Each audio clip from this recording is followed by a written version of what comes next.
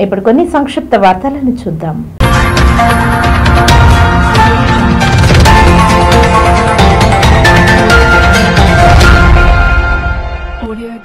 Indian medical association Tirupati జిల్లా అధ్యక్షుడిగా ఎన్నికైన డాక్టర్ జనార్దన్ను బీసీ విద్యార్థి సంఘర్షణ సంఘం రాష్ట్ర అధ్యక్షుడు వెంకటాద్రి యాదవ్ దుశ్శాలతో సన్మానించి అభినందనలు తెలిపారు ఈ సందర్భంగా వెంకటాద్రి యాదవ్ మాట్లాడుతూ డాక్టర్ జనార్దన్ ఎన్నో సేవా కార్యక్రమాలు నిర్వహించి పేద ప్రజలకు వైద్య సేవలు అందించడంలో ముందుంటారని అలాంటి వ్యక్తిని ఇండియన్ మెడికల్ అసోసియేషన్ సభ్యులు ఏకగ్రీవంగా జిల్లా అధ్యక్షుడిగా ఎన్నుకోవడం శుభ పరిణామమని అన్నారు.